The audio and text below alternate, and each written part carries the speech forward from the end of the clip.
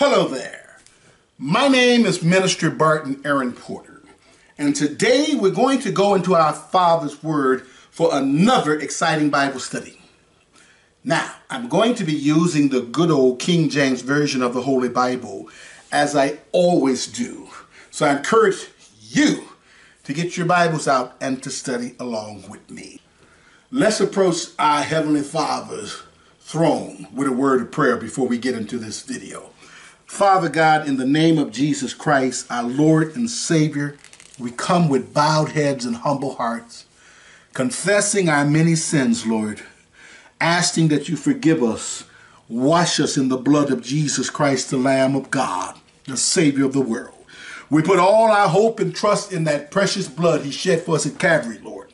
And we ask right now, Almighty God, that you fill us with your precious Holy Spirit as we go into your word, the Holy Bible. In the name of Jesus Christ, our Lord and Savior, we thank you, Almighty God, for hearing our prayer. Amen.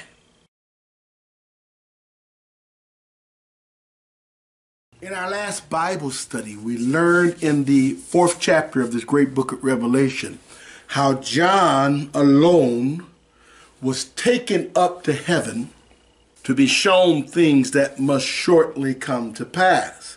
So, with that, we're going to dive right into the fifth chapter of this great book of Revelation with the very first verse. Revelation chapter 5, verse 1 And I saw in the right hand of him that sat on the throne a book written within and on the backside, sealed with seven seals. So John says he saw in the hand of Almighty God the Father, Jehovah God, a scroll. Because when we look this word book up in the Strong's Exhaustive Concordance of the Holy Bible, we see it's the Greek word 975, and it actually comes from a Greek word meaning a roll or a scroll. So it wasn't a book like we have books today. It was actually a scroll, and it had seven seals on it. Verse 2. And I saw a strong angel proclaiming with a loud voice, Who is worthy to open the scroll and to loose the seals thereon, or to loose the seals on it? And so this angel stood up in heaven and he pronounced with a very loud voice, Who here is worthy to take this scroll from the hand of Almighty Jehovah and to break open those seals. Verse 3. And no man in heaven, pay attention to this, no man in heaven, nor in earth should be on earth, neither under the earth. You see the three places a man could be in heaven, on earth, or under the earth. It was able to open the book or the scroll, neither to look thereon. So there was nobody worthy of such a great honor to take the scroll and start breaking open the seals. Verse 4 And I wept much because no man was found worthy to open and to read the scroll, neither to look thereon, John says. So this is a reminder that we are all sinners in need of a Savior. There was only one who was found that was worthy, and that's none other than our Lord and Savior Jesus Christ, which we're going to read about in a minute. But we must always be mindful of our need for the Savior because we were born in sin and shaped in iniquity. And that's why the apostle Paul wrote in Romans 3 23, For all have sinned and come short of the glory of God. This is why the wise King Solomon wrote in Ecclesiastes chapter 7, verse 20, for there is not a just man upon earth that doeth good and sinneth not. And this is why John wrote in 1 John chapter 1, verse 8 through 10. If we say that we have no sin, we deceive ourselves, and the truth is not in us, John says.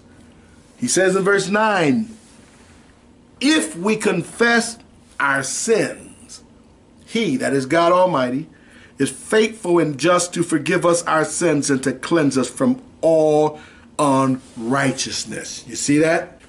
Verse 10 If we say that we have not sinned, we make him a liar, and the truth is not in us. So there is nobody worthy except Jesus Christ. He is our only hope for salvation because he is the only one who never sinned. Revelation chapter 5, verse 5. And one of the elders said unto me, Weep not, behold, the lion of the tribe of Judah, the root of David has prevailed to open the scroll, to open the book. They call it book, but it's actually a scroll. And to loose the seven seals thereof. Verse 6. And I beheld, and lo, which means behold, in the midst of the throne and of the four beasts, and in the midst of the elders stood a lamb as it had been slain, having seven horns and seven eyes, which are the seven spirits of God sent forth into all the earth. So he saw this lamb that looked like he had been killed with seven horns and seven eyes. Then the Bible tells us exactly what those were symbols of. They're the seven spirits of God sent forth into all the earth. And we know that the lamb is a symbol of our Lord and Savior. That's why in John chapter 1, verse 29, John the baptizer, when he saw Christ walking, he said, Behold the Lamb of God that taketh away the sin of the world. So that's who John saw here in Revelation chapter 5. This lamb is a symbol of Christ, having died for us and paid off our sin debt. Anyway, verse 7 And he, who? The lamb that had been slain, having the seven horns and the seven eyes, which are the seven spirits of God sent forth into all the earth, and he came and took the scroll out of the right hand of him, who? The Father Jehovah that sat upon the throne, because only he could. He was worthy. Verse 8 And when he had taken the scroll, the four beasts and the four and twenty elders fell down before the Lamb, having every one of them harps and golden vials, which are bowls, full of odors, which are the prayers of the saints. Verse 9 And they sung a new song, saying, Thou art worthy to take the scroll and to open the seals thereof, for thou wast slain and hast redeemed us to God by thy blood out of every kindred and tongue and people and nation. Verse 10.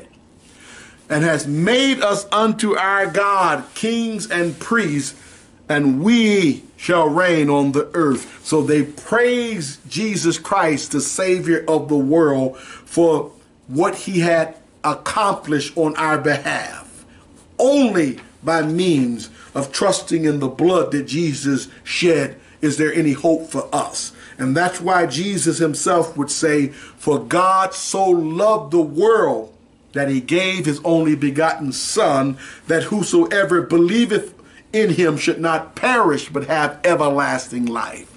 Jesus said, For God sent not his Son into the world to condemn the world, but that the world through him might be saved.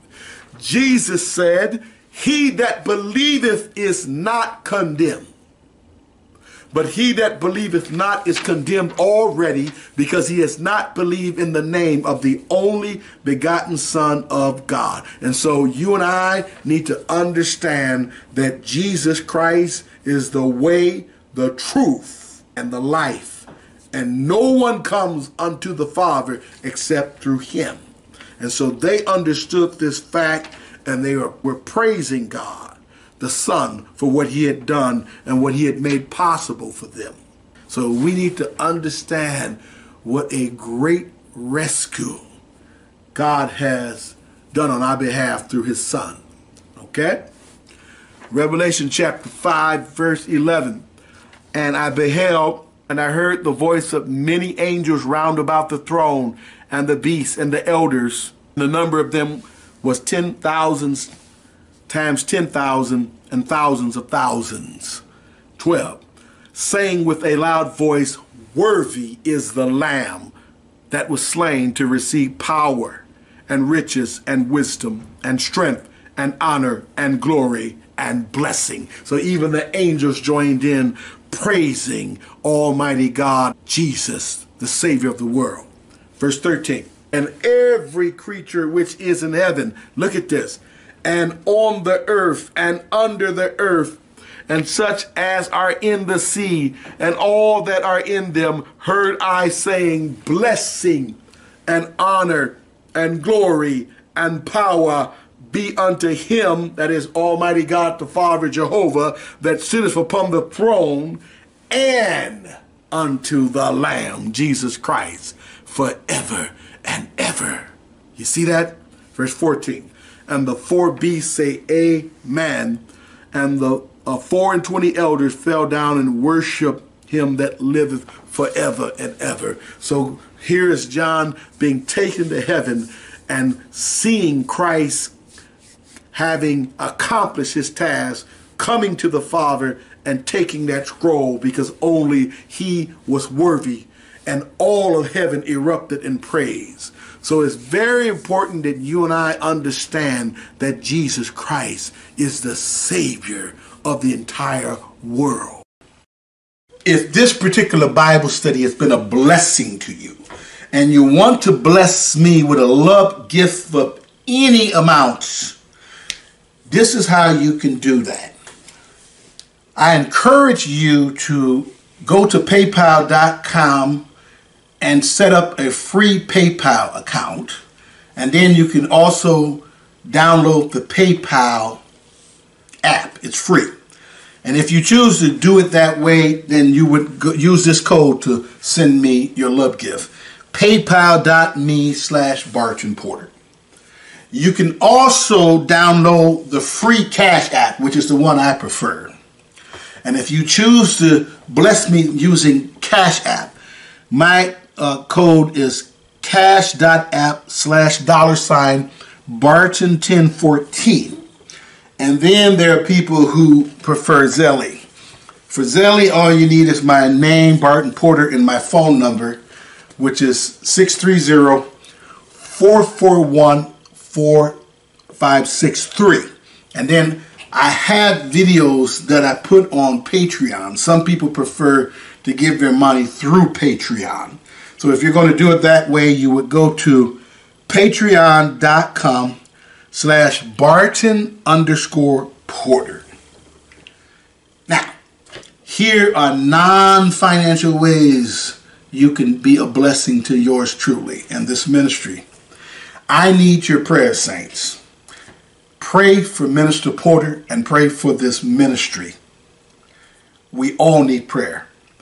And share the Bible study videos. If you're being blessed or encouraged or taught through this ministry, share these Bible study videos with as many people as possible.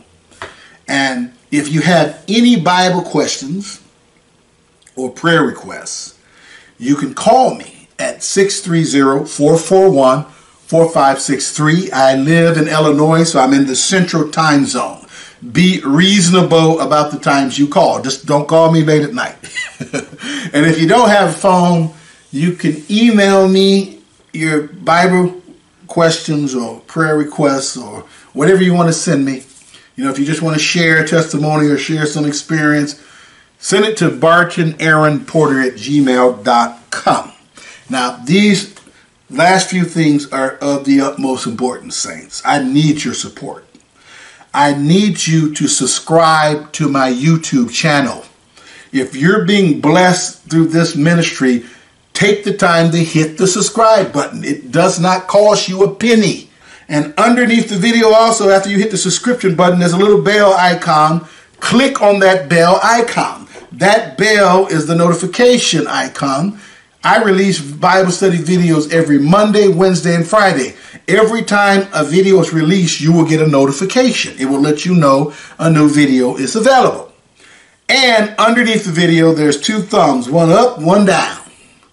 If you like my video, if you like the content, please take the time to hit that thumbs up button. Very important. These are non-financial ways you can help this ministry. And I need your support, saints. So please do that. And last but not least, it just came to my mind. If you really were blessed by a Bible study video, take the time to put something in the comment section. It encourages me to know that my preaching and teaching isn't in vain, and God can use that to encourage somebody else to actually watch the video and see what the Bible has to say about a particular thing. So take the time to put something in the comment section. Now, in closing, these shirts that you see me wear all the time are my own designs. I have an online t-shirt store. And I just recently purchased the domain name. It's godwear.store. So please go to godwear.store. Check out the t-shirts, the hoodies, the women tees, the cups. If you see something you like, buy it because you're getting something that you can use to share the gospel of Jesus Christ everywhere you go. And you're also blessing this ministry as well. So, until next time, this is Minister Barton Aaron Porter saying, May the good Lord continue to bless you and keep you all the days of your life. God bless you and goodbye.